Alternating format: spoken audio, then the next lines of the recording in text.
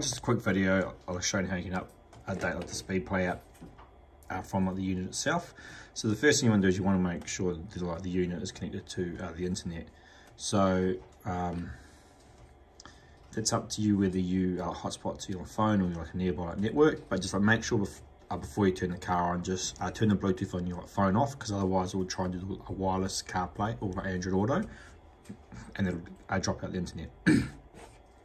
so basically first thing you want to do is you want to go into uh, all the apps and you want to find your SpeedPlay app and you want to click on it and drag it to the trash can.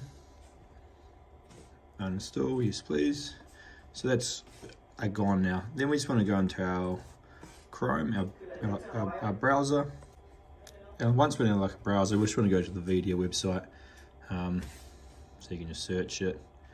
Click on Vhedia there click on the menu and you're just looking for downloads X series uh, downloads. This is for the uh, X series one. And just scroll to the very bottom of the page. And you're uh, looking for SpeedPlay 2.0.26. It, it could be a different version. It's 2.0.26, so that, that last number could change, and I'll show you where you uh, check that. So you click on download a file, touch on it there, click on the download up here. Now, if it says a one at the end here, we just want to take off the one. So it's just like APK at the end, dot APK. Done, download.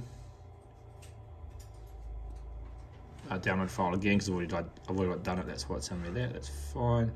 Download anyway. So all that has been uh, downloaded now. So now let's go in here, go into file browser, and it's I'm gonna come up on the flash, go down to uh, downloads. So I click on our downloads, and you can see they're there. I've downloaded two that are the same, but you can see 2.026 they are, are both the same.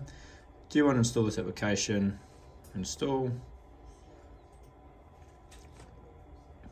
Open it up continue and there you go. You can see that select version number down here 2.0.26 um, and that's all done. So that's how you can install it straight from the head unit